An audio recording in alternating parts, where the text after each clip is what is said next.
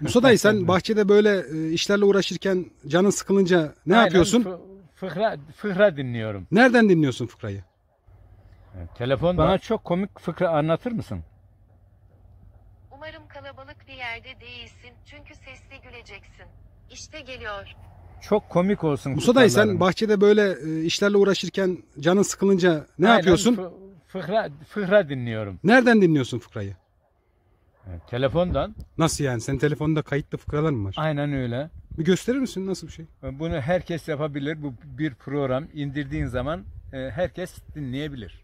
Allah Allah nasıl bir şey? Sen de dinleyebilirsin. Tamam bir gösterin Kayıt bakalım. edebilirsin. Gösterin bakalım nasıl bir şeymiş.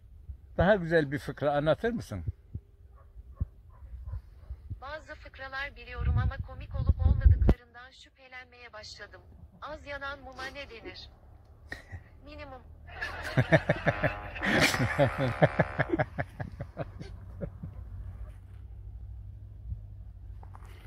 Evet Musa amca ne yapıyorsun şimdi? Bana fıkra anlatır mısın?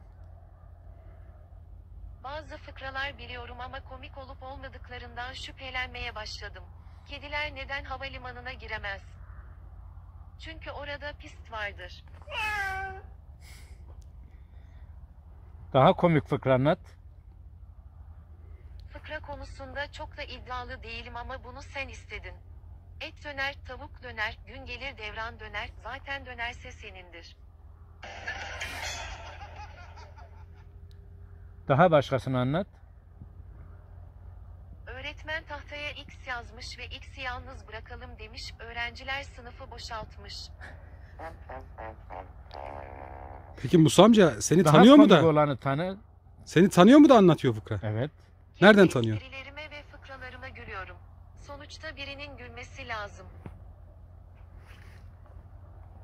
Çok komik olsun fıkraların. Umarım kalabalık bir yerde değilsin çünkü sesli güleceksin. İşte geliyor.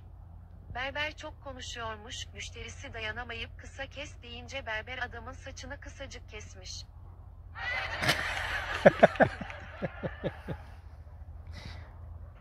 Daha başka? Bazı fıkralar biliyorum ama komik olup olmadıklarından şüphelenmeye başladım. Yıkanan ton balığına ne denir? Washington.